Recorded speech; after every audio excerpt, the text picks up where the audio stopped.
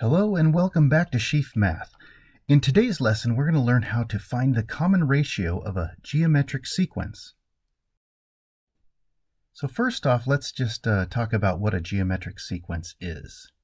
And so this is an example of what a geometric sequence is. Um, and you might be able to see a pattern to this. Um, this is different than an arithmetic sequence uh, where it goes like 2, 4, 6, 8, 10, where it goes up by 2 each time, or up by 8, or down by 3 each time. This one, you might notice, has a pattern as well. But this one, we are multiplying by 2 each time to get the uh, to get the next number. And so this number is called the common ratio. And why do we call it the common ratio? Well, because what we're actually doing is we're taking a number and we're dividing it by the number that precedes it, the number right before it. So 4 divided by 2, right? And if I did that to the next one, 8 divided by 4, and 16 divided by 8, and 32 divided by 16, I would get fractions that are all equal ratios. And so these all have the same uh, answer. And this ratio happens to be 2, and that's the common ratio. So when you find the common ratio, that's the number that's multiplied to get the next number.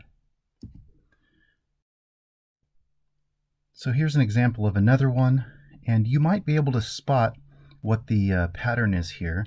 Um, and so these are some easy ones, and you can see that this is multiplying by 3, right, each time. But we really want to focus on, on finding that ratio and doing it the proper way because they're not always going to be super easy and uh, able to be found out real quick. So to find that common ratio, we take our a number and we divide it by the one before it. So 3 divided by 1, 9 over 3, 27 over 9, and 81 over 27, and those all come out to 3. They have that common ratio, and that's the number, again, that you multiply to get to the next number. So let's show you how to quickly find the common ratio. So here's an example of one. Um, and if you're asked to find the common ratio, it usually means that this is a geometric sequence. So we're going to assume that. And so even if you're able to spot what, what it is, um, you always want to get into the habit of just doing that division um, each time. Okay, and so I'm going to pick just two random numbers, 16 and 4. Now I should have probably picked 4 and 1 because they're the easier ones, but I just want you to know that it doesn't matter which one pair you pick. Um, when you take the number and divide it by the one before it, you're going to get that common ratio, okay? And you really only need to do one in order to, to find it. Um, if you had to prove that it was a geometric sequence, then you would have to do all of them to see if they all equaled 4. Um, but just to find it a common ratio quickly, all you do is take pick any number, divide it by the one before it, and you always want to maybe pick the easiest ones. So I'm going to give you um, a bunch of different scenarios, different geometric sequences, so that you uh, um, have seen all of these. And so here we go. To find the common ratio of this one, we're going to take our two easiest numbers, negative 10 and negative 2, and we're going to divide them, and that comes out to 5. And if you notice that each number, if you multiply by positive 5, you'll get the next number. Now this one right here, this one is going down. And so um, some of you might notice right off the bat that, um, oh, I see it's dividing by 3. But divide by 3 is not the common ratio.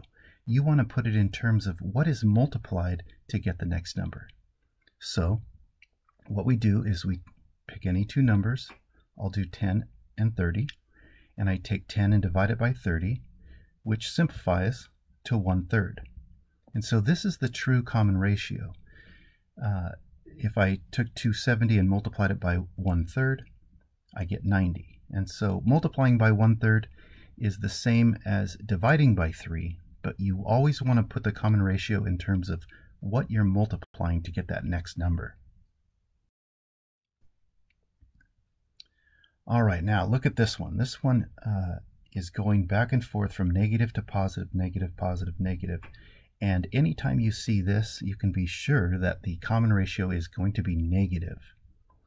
So let's try it out. 6 divided by negative 3 is negative 2. And if you did it to negative 12 divided by 6, you would get negative 2. 24 divided by negative 12, that's negative 2 as well. And so anytime you see them going back and forth from negative to positive, your common ratio is going to be a negative number. All right, well, we couldn't have it without fractions. They're always fun.